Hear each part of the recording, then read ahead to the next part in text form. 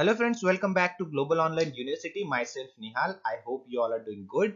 So आज हम current affairs पे uh, कुछ क्वेश्चन डिटेल में डिस्कस करने वाले हैं जो कि अपना इन्वायरमेंट एंड आईसीटी टॉपिक रहने वाला है ठीक है तो आज अपना नाइनटीन लेक्चर है इसके पहले बहुत सारे सेशन हमने करंट अफेयर्स पे लिए हैं अगर आपने अभी तक नहीं देखे हैं तो डिस्क्रिप्शन बॉक्स में मैंने लिंक दे दी है आप जाके देख सकते हो ठीक है अगर आप ये वीडियो पहली बार देख रहे हैं तो हर रोज दोपहर को दो बजे अपना करंट अफेयर सेशन रहता है। आप ग्लोबल ऑनलाइन यूनिवर्सिटी पे ये सेशन हर रोज देख सकते हैं।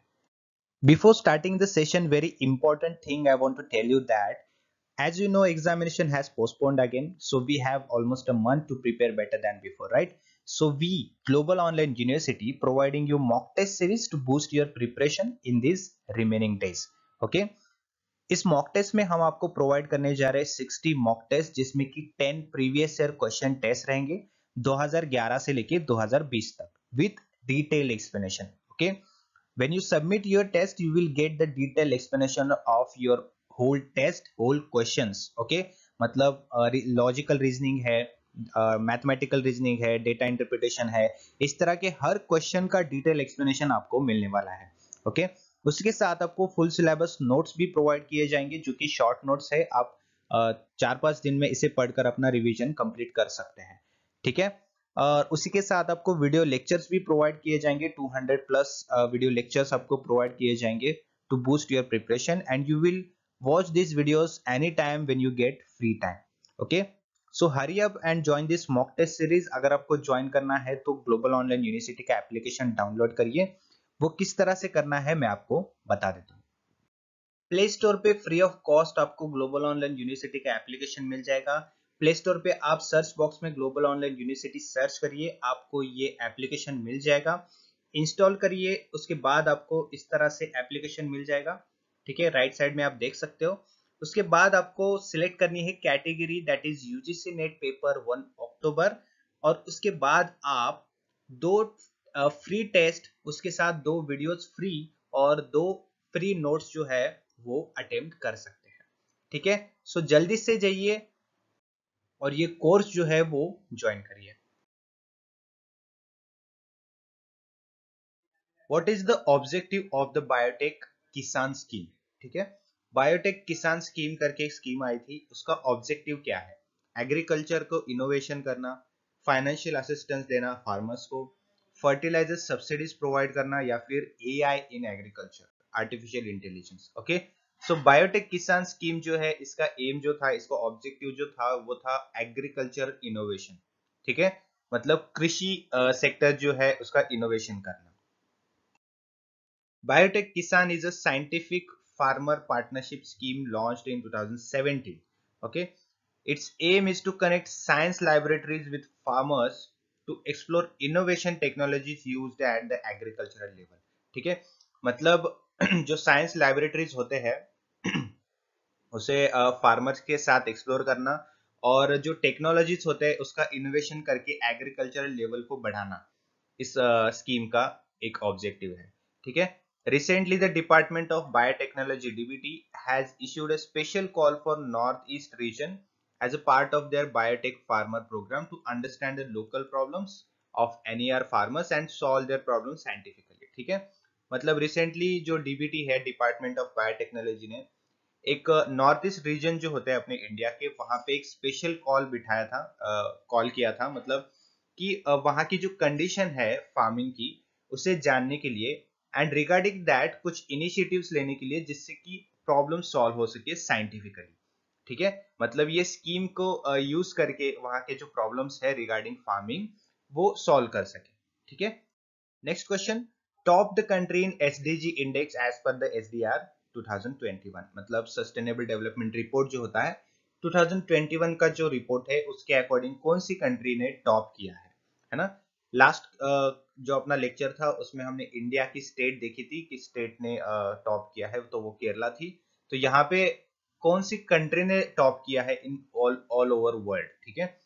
आइसलैंड फिनलैंड ग्रीनलैंड या फिर India so Finland is the country who topped in the SDR 2021 sustainable development report SDR 2021 जो रिलीज़ हुई है आ, वो सस्टेनेबल डेवलपमेंट सॉल्यूशन नेटवर्क ने लॉन्च की है या फिर रिलीज़ की है. According to the report Finland जो जो कंट्री है, उसने टॉप किया है एसडीजी इंडेक्स में with 85.9 points followed by Sweden and Denmark ठीक है? मतलब फिनलैंड के बाद जो कंट्रीज़ है, वो है स्वीडन एंड डेनमार्क है ना? With 60.1 point India rank to 120 out of 193 countries ठीक है? S D S D R report जो है, उसके अकॉर्डिंग इंडिया का जो रैंक है, वो है 120 next question is institute that has demonstrated the process of converting nitrogen generator into oxygen generator. ठीक है? ऐसी कौन सी इंस्टीट्यूट है जिसने की ये प्रोसेस को डेमोस्ट्रेट किया था जो कि नाइट्रोजन जनरेटर को ऑक्सीजन जनरेटर में कन्वर्ट करती है? IISc Bangalore IIT Bombay IIT Kharagpur या फिर आईआईटी दिल्ली है ना? सो so, इसका राइट आंसर है आईआईटी बॉम्बे और आईआईटी बॉम्बे जो है इसने ये प्रोसेस को डेमोस्ट्रेट किया था। जिसमें कि नाइट्रोजन जनरेटर जो होता है उसे कन्वर्ट किया जाता है ऑक्सीजन जनरेटर में।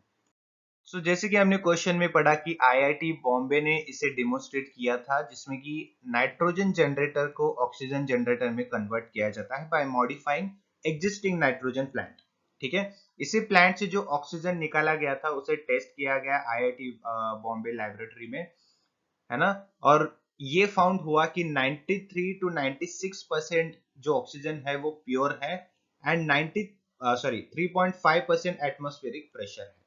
ठीक है? Nitrogen plant work on pressure swing absorption PSA technology where air is absorb from the atmospheric filter and nitrogen is remove okay oxygen by product is release back into atmospheric तो जो process है, वो इस तरह से process है। Okay. Next question. Highest number of people provided work under MNREGA during financial year 2021 in which state? ठीक है? इनके आगे which state है? सो so, ऐसे कौन से स्टेट है जिसमें कि हाईएस्ट नंबर ऑफ़ पीपल को वर्क प्रोवाइड किया गया है अंडर मनरेगा स्कीम ठीक है? फाइनेंशियल ईयर 2021 में।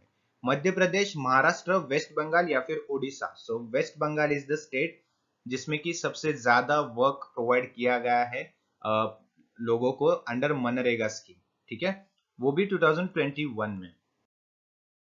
West Bengal provided work to one sorry 11.8 million people ठीक है? 11.8 मिलियन पीपल को वर्क प्रोवाइड किया गया है under MNREGA scheme F Y two thousand twenty one which is highest in the country it utilised around 10,403.13 crore for implementing the scheme and stands third in spending the funds after only to Uttar Pradesh and Andhra Pradesh. मतलब fund के मामले में third rank आता है waste Bengal का but work provide करने में first rank है है ना? Around 27.3 million hold demanded work under MNREGA in April 2021 next question national technology day theme 2021 ठीक है 2021 का जो नेशनल टेक्नोलॉजी डे था उसका थीम क्या था? Science and technology for sustainable future restart the recycle Atmanirbhar Vigyan या फिर science and technology for Atmanirbhar India है ना? तो नेशनल टेक्नोलॉजी डे 2021 जो था, उसका थीम था science and technology for a sustainable future ठीक है? National technology day is celebrated on May 11 every year 11 मई को हर साल इसे मनाया जाता है। commemorate the technology advancement made by country. The theme is this year science and technology for sustainable future. Okay, so this day was first observed on May 11, 1999. ठीक है 11 मई 1999 में इसे सबसे पहले ऑब्जर्व किया गया था as a national technology day okay As on the same date in 1998, India successfully conducted three nuclear tests at Indian armies Pokhran test range in Rajasthan ठीक है? तो नेशनल टेक्नोलॉजी डे को क्यों मनाया जाता है? तो इसी डेट पे इंडियन आर्मी ने अपने तीन न्यूक्लियर टेस्ट जो है वो सक्सेसफुली कंडक्ट किए थे in Pokhran test range in Rajasthan ठीक है? जो कि राजस्थान में है। On 11th May 1998 India also tested its first indigenous aircraft, Hansa 3 and surface to air missile Trishul ठीक है? इसी डे पे इंडिया ने और एक एयरक्राफ्ट जो है इंडिजिनियस एयरक्राफ्ट है हंसा थ्री नाम से, उसे टेस्ट किया था और उसी के साथ एक एयर मिसाइल भी टेस्ट की थी, जो कि सरफेस एयर मिसाइल है, जिसका नाम था त्रिशूल। ठीक है? तो इसी वजह से नेशनल टेक्नोलॉजी डे जो है, वो 11th मई को सेलिब्रेट किया जाता है। लार्जेस्ट सोडा और अल्काइन लेक ऑन अर्थ ठीक है? जिसका नाम है लेक वैन वो कौन सी कंट्री में लोकेटेड है? इंडिया टर्की यूएई या फिर China so country is Turkey ठीक है? टर्की जो कंट्री uh, है वहाँ पे ये लेक वैन करके लोकेटेड uh, है जो कि एक लार्जेस्ट सोडा या फिर अल्काइन लेक जिसे हम कह सकते हैं वो माना जाता है. लेक वैन का जो फोटोग्राफ है उसने tournament earth 2021 challenge of NASA ये जो है वो जीता था. ठीक है? वो जो टर्की में लोकेटेड है. It is the largest soda और अल्काइन लेक ऑन अर्थ ठीक है? ये जो फोटोग्राफ है वो केट रूबिन्स ने क्लिक किया था शॉट किया था इन सितंबर 2016 showing a part of one of the largest alkaline lakes in the world with a pH of 10 and highly sal uh, salinity levels ठीक है? Next question theme of international day for biological diversity 2021 जो biological diversity day है international biological diversity day 2021 का उसका theme क्या था?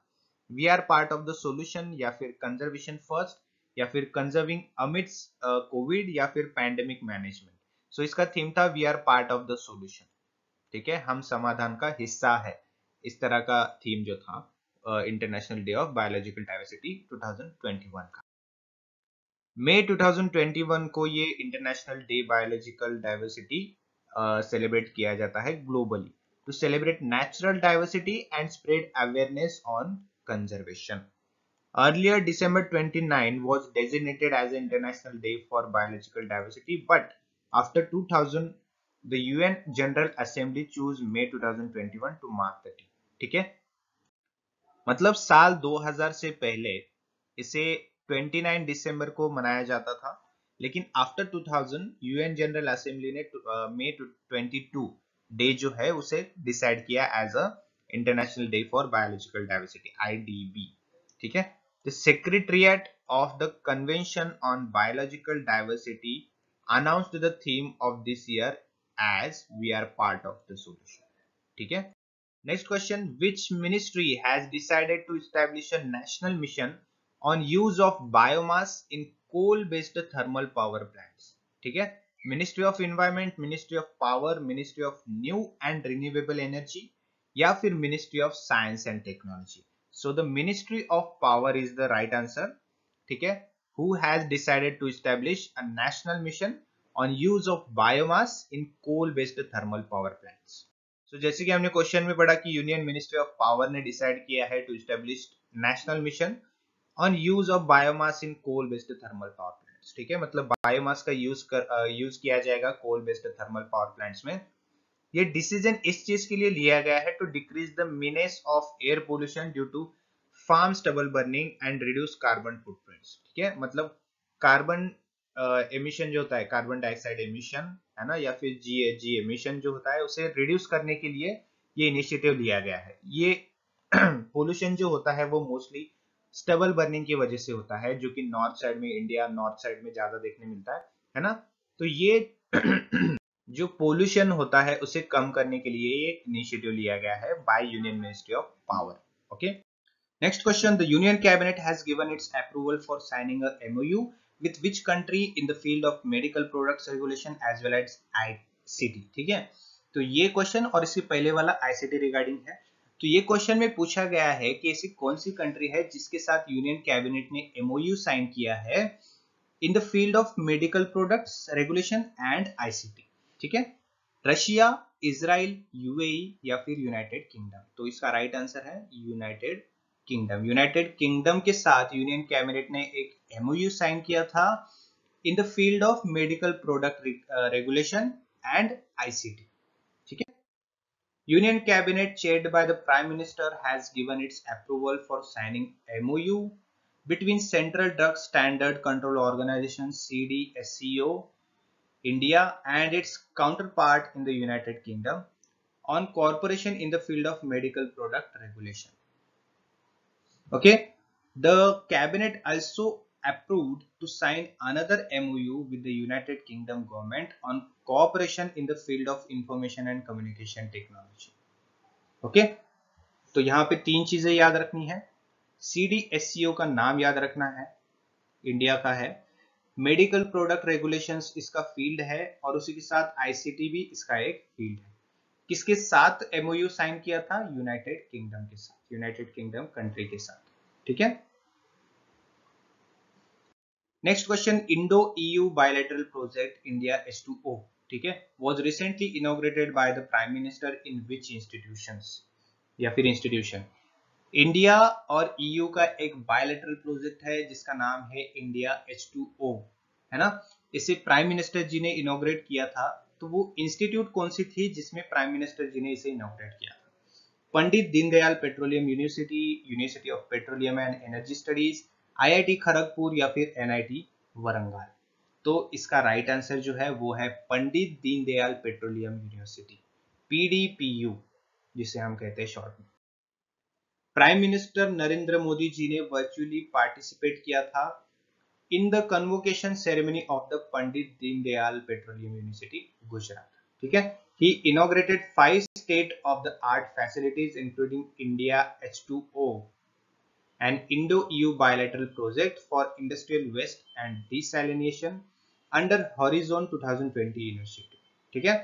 He also said that country has set a, a target of reducing its carbon footprint by 30 to 35 percent ये जो project है इसका एम क्या है? To reduce the carbon footprint by 30 to 35 percent ठीक है? अगर क्वेश्चन पूछा कि इंडिया H2O प्रोजेक्ट जो है इसका एम क्या है? है ना? तो इसका एम जो है वो है to reduce carbon dioxide by carbon dioxide emission by 30 to 35 percent. Before ending the session very important announcement for you. If you want to crack the examination whether it is net or set join our courses and crack the examination in very first attempt. Global online university providing you very relevant mock test notes and as well as video lectures okay?